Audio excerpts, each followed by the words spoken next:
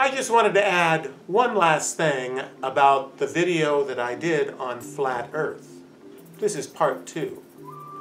Now we're told by those people that think that the earth is round, a globe, that it's 25,000 miles in circumference.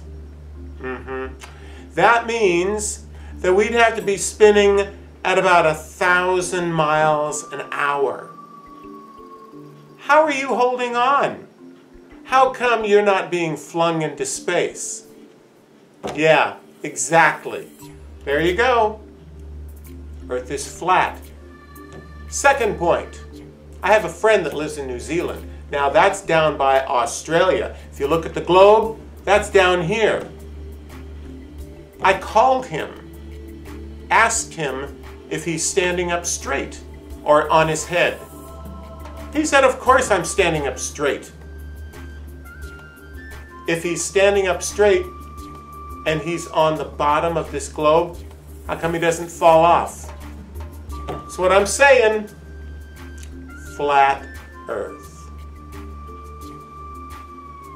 I know, I'm the expert.